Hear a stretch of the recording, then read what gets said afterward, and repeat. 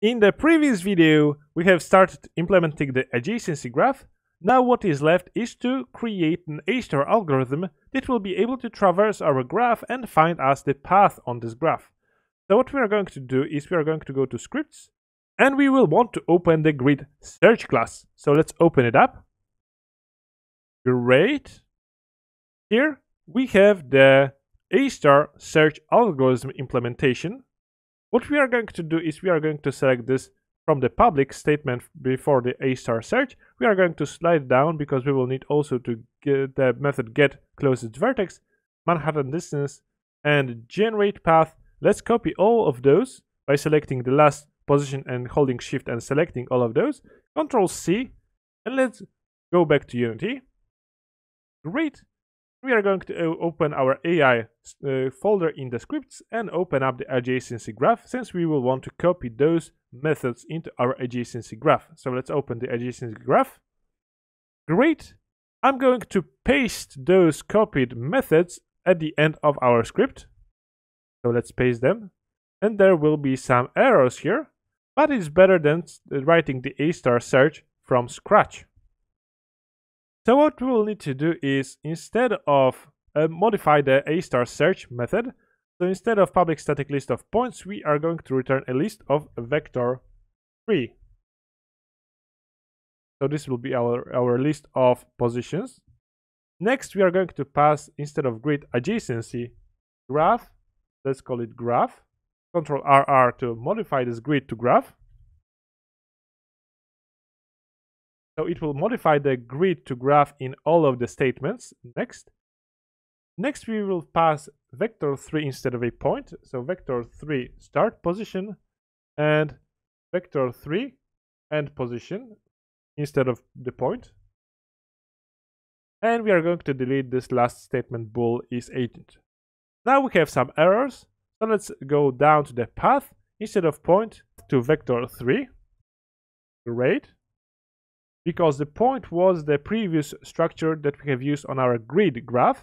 Now we will need to use the, the vertex, the, uh, the vertex uh, class to uh, do the job of it. What we are going to do is we are going to create a vertices of our start and end points. So let's go create vertex start equals graph dot get vertex at and we are going to pass the start position. And we are going to do the same with the vertex end and we are going to call graph dot get vertex at and we are going to pass the end position. So we need to be sure that we have those in our graph uh, because uh, else we are going to get the null values. Next we are going to modify the positions to check instead of using point we are going to use vertex Great. Now, what we are going to have is, uh, actually, I think we can modify all the points. So Control F on the point. And you should see this additional window. Extend it using this arrow. Instead of point, we are going to use vertex. Make sure that you type it exactly as the name of the class is. And we are going to use this uh, second icon near the vertex typing field. And we are going to replace all and you should have 27 occurrences replaced. Great. So we should have those all those points changed to our vertex. Great. Now let's slide down because our positions to check, add, and we have start position. Instead of this, we want to add the start when it is start position, and we will want to use end because start position and end positions are vector 3s that we have passed here, and start and end are the vertices. Great we have this generate path, we will go back to it. Let's now go down to our for each loop. And we have our vertex neighbor in graph. And instead of get adjacent cells, we are going to get, get connected vertices to, and we will pass to it current. Since current is our current vertex. Great. Now we are going to get new uh, float new cost and we are going to add one since we do not have costs of our road. So we are not calculating the cost of our road. Great. Now we have the float priority equals new cost plus Manhattan's distance and this should be it.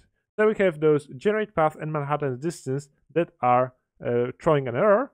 So instead we are going to slide down and find the get closest vertex is works, then Manhattan distance. And what we are going to do here is change the capital X to small x and capital Y to small z value. And we will need to pass here actually the uh, vector 3s. Actually, we have vertex. Okay, so let's use the vertex. So let's type position dot x. Let's copy this position dot and place it after the first dot of the vertex dot and position and end position dot position dot z. Great. And I can see that our uh, changing the name changed the name of this point to vertex. So we are going to change it. So let's control RR to rename it. Let's pass to it current position or maybe position simply. Okay, great. So this is the end position and the position that we are currently on and we are calculating the Manhattan's distance of it.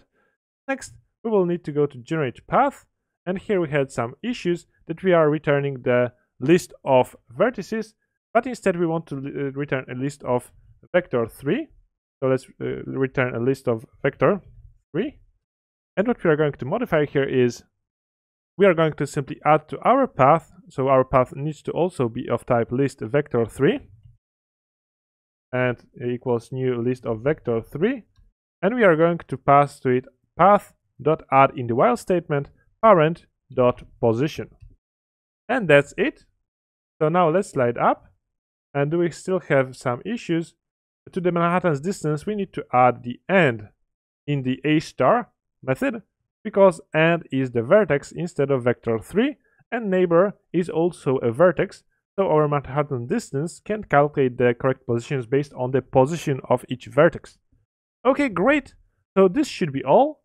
Uh, keep in mind that the, all those uh, scripts should be available on GitHub. So if you have any errors, you can go to GitHub repository and check the scripts to compare them to your own scripts.